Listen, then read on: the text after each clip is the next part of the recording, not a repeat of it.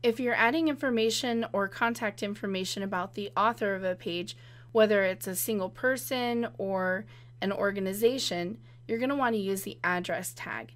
This is going to help with accessibility, screen readers, your search rankings in Google, and helping people find this information when they use a keyword search and say something like your organization's name and address. So it's a good idea anytime you have this contact information to put it in an address tag. So this can include not just the address, but it can include phone numbers, emails, etc.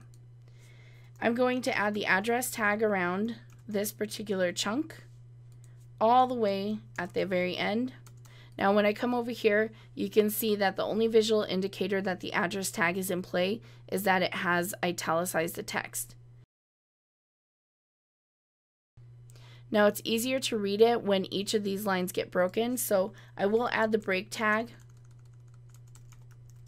to this content at each of these lines to properly break them and have it easier for people to read. And I don't need to add a break tag here because this closing address tag will perform that break for me.